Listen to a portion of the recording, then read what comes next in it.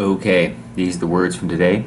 Uh, we start off, and uh, I was uh, I chose uh, Shingonman to speak, and he's like, uh, I think he felt like, Adam, don't pick on me, you know.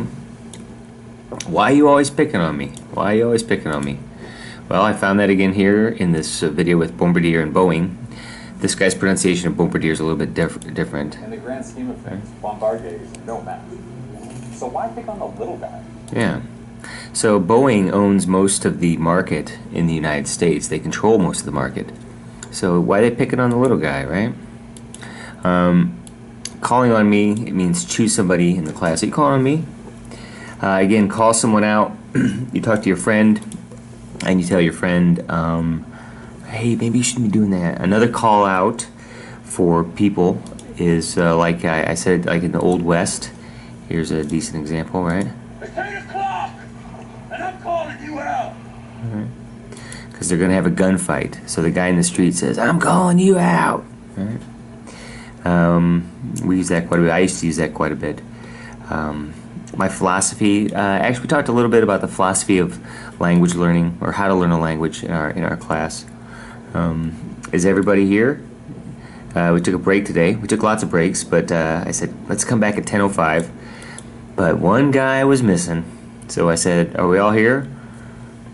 When everybody's there, we are all present and accounted for. Uh, again, give shout outs is say hello, right? Hey, let's give a shout out. Again, brag is kind of like, uh, I think more informal or more for your friends, right?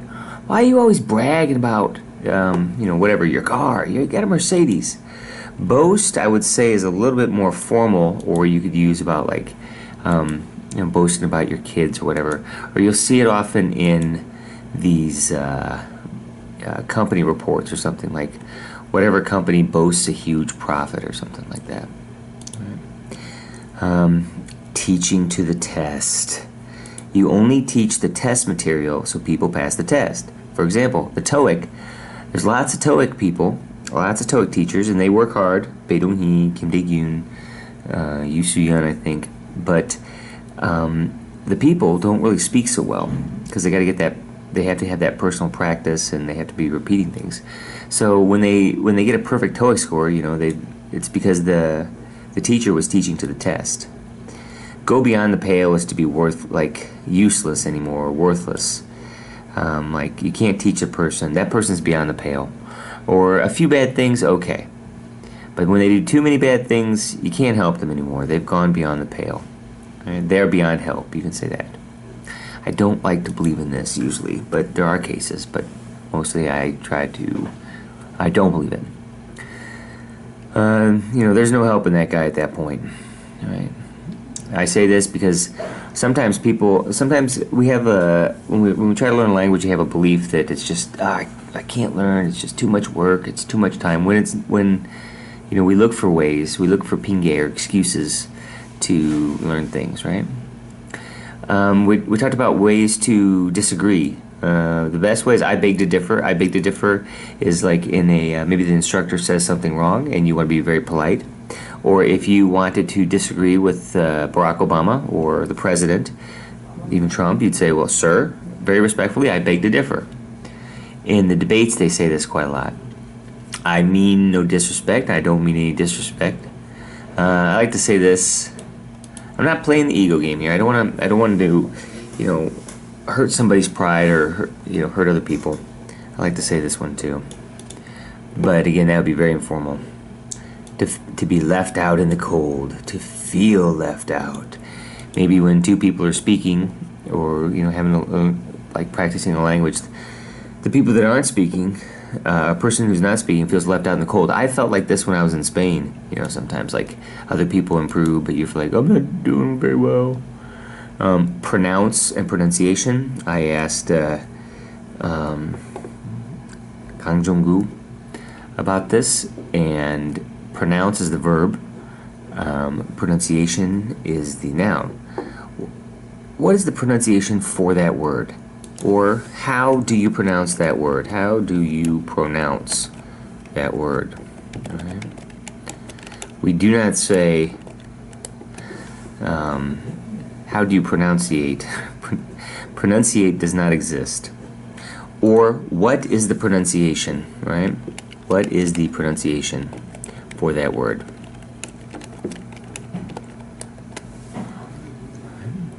Or we say discuss or converse. There is no conversate. Now, again, many foreign language students or many Hicks rednecks try to say that, but it doesn't exist. A scary movie is a horror movie. There's two syllables. Horror movie, right? He's a, uh, the verb is kiss up. The person is a kiss up or a brown noser. All right. I hear flatter a lot, but I don't think you know this really. Um, I don't hear this word too much back uh, in, in the United States. He's very charming. All right. She's very charming. Uh, or flattery is the best form of uh, charm or something like that. There's a there's a saying. Can't re- quite remember right now. Now, um, Mr. Gong, yeah, one of the Mr. Gongs. I asked him, uh, "What's a kiss up?" And he said, "You," and that made me laugh. but in that, I can say, "Touche, good one," or a "Good one." Well played, well played, sir. Right? Again, if we play play basketball, play tennis, especially like fencing, you know, sword fighting. in my case, well played. Good job. Senators, there's two for each state. That's higher level. Congressman is the general term. Ramble. Rambles talk. Ramble on and on. Also, uh, if you travel in the United States from Phoenix, you live there, and then you, and then you live in another city, and another city, kind of rambling from town to town. All right? Are you from here? No, he's from out of state. Is, we say this all, all the time. Again, states are the United States. Each state has its own independent government. Provinces are a part, like Canada, um, they are part of an entire country. Um, they're a little bit weaker than states, individual states. Same with president versus prime minister. Uh, maybe Koreans probably know this. In Inadequate, if you can't prepare in an adequate amount of time, if you can't prepare in enough time, don't do it. Affect is usually the verb, like have influence on, right? Uh, have an effect, you could use this for noun. This one's more scientific. This one is more influential, right? In general. Boy, that was some weird behavior, bizarre behavior. This word on a scale of 1 to 10 is about a 3 or 4 for me. Right? I'm kind of dealing with an issue, right? Struggling would be hurting. Oh, really struggling, but nicer. I'm, I'm kind of dealing with an issue. Handling it is uh, stronger, like you're taking care of it. And I'm kind of, I've, I've, I've pretty much, I've handled that situation well, I think. Um, to show the proper respect versus to kiss up. So I asked uh, Mr. Gong again this today, and he said, uh, we're saying like showing proper respect, you're a little bit softer and nicer. Kiss up is maybe too much energy or whatever. People don't like this. Now again, my my my thinking has changed after living here, um, or I try to. I think the style's a little bit different here. You really have to, I think, pay pay good attention to your bosses. Show them the proper respect. I think, you know, open the door, bow, that type of thing. It works. It works better here, I'd say. Okay.